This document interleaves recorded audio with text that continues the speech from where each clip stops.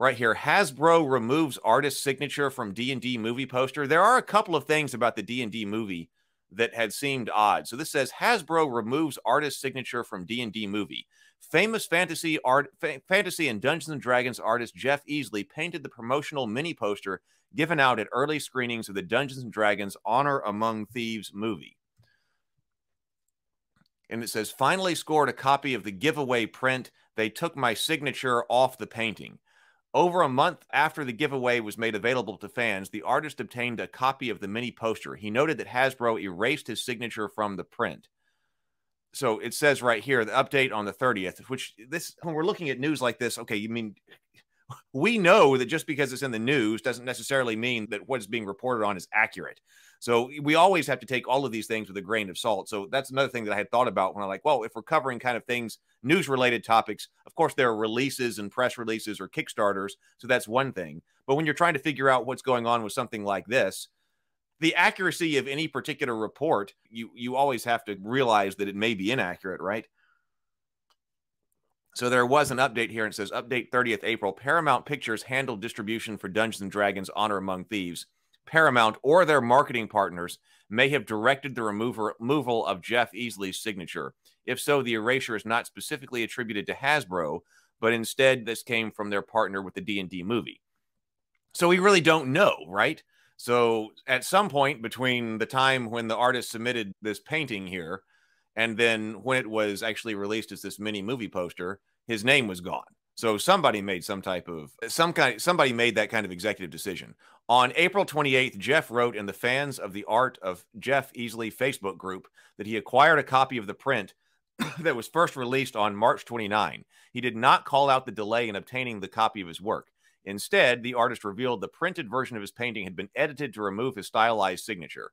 Jeff Easley's Honor Among Thieves poster, along with the D20 popcorn bucket at AMC theaters, are among the best souvenirs associated with the movie. Taking the artist's name off the finished product robs him of the customary credit he deserved as the author of his work, which might be apropos for a movie that has thieves written in the title.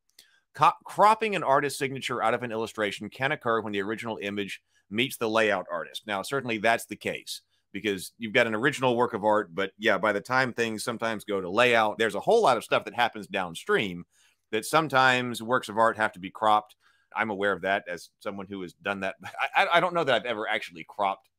I don't think I've ever done that, but I'm sure that I've had to crop images that somebody has done when it's being repurposed for something or used for something else or something like that. So yeah, I completely understand that. Yeah, if a work gets cropped sometimes the image may sometimes the crop that has to happen for a particular purpose may accidentally crop out uh, the signature.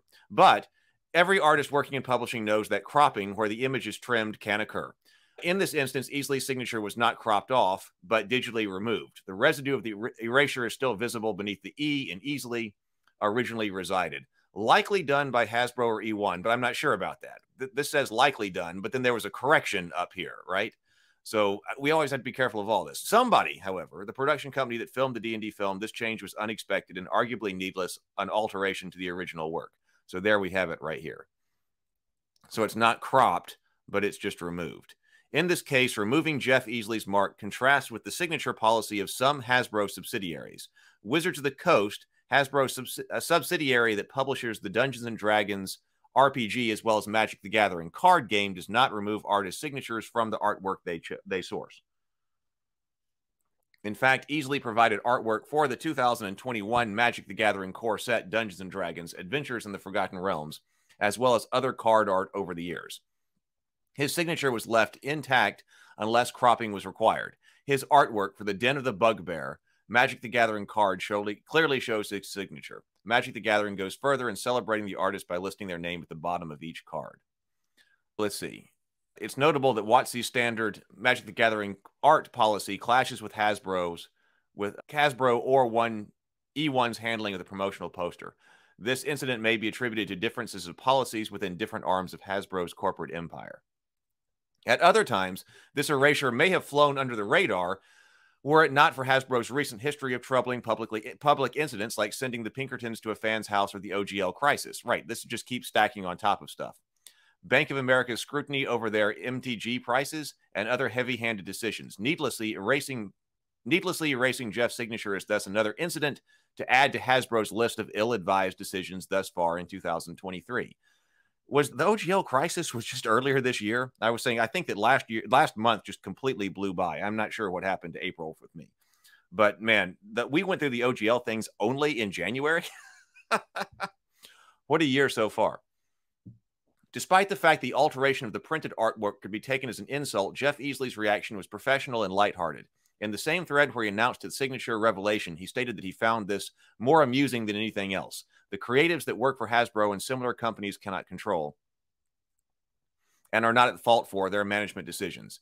As with any of the difficulties he's experienced in his long career of working with corporate clients, Jeff Easley proves he's a class act. So, update on May 1st. On Facebook, Jeff Easley shared his thoughts of the incident.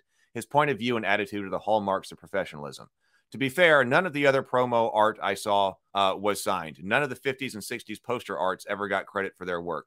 I would think my association with the early ish TSR would be the only reason I got the job. Editor's note both Egg and Gertie are keen to do the right thing and note that while Jeff called attention to the certain reactions to this, certain reactions from fans would make life challenging for the artist. Please be considerate. So, yeah, who knows whether that was directed? We don't know who it was directed by, and that's a, seems to be a, also a common theme with all of this that we don't really know who is in charge of decision making. Whether that was the OGL kinds of things, whether that was the Magic Card Pinkerton situation, or whether it, who who made this call about removing the signature, we don't ever really know. Uh, yeah, I still can't understand what they gain for that. It's Jeff Easley. His name adds a fair bit of weight but so that see that kind of leads me to think that it might not have been if it were Hasbro might not know. It depends if I, I don't know. Like it depends on who commissioned that art. If it was specifically commissioned, I guess that it was. But then somebody might not know who he is and not might not know that it actually adds weight to the image. I don't know that's all I can, uh, or that's one possible way for this to go. So we don't know. Maybe somebody didn't know who it was and thought that it was taking away from something, or somebody, some no name guy, or some guy trying to take credit, or something like that. I don't know. It's, we don't know. At least according to this article.